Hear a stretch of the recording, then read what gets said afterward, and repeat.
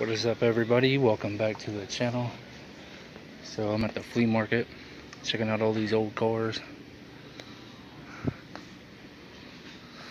These things are pretty nice. Usually they say the year somewhere on the fence.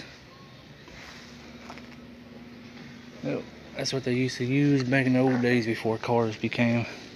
You have a person sitting up front smacking the horses so that way they take off walking. Got the people in the back. Pretty awesome. Look how big them wheels are. CJ on 42s, 52s.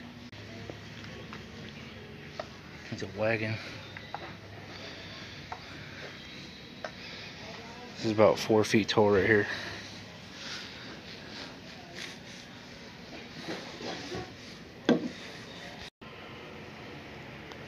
Nineteen fifty nine Buick. 122 miles per hour. Check this thing out. This thing is a beauty. And check this thing out. 1930.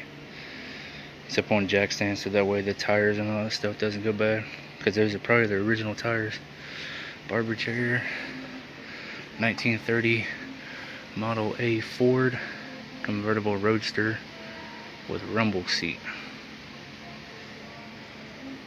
That's awesome. There's a bunch of trophies up there. Don't know what that's for. But that is cool. And then over here, we got, um, I'll just let you guys read that if you want. Some Indians, some Native Americans. All this stuff back here smells extremely old.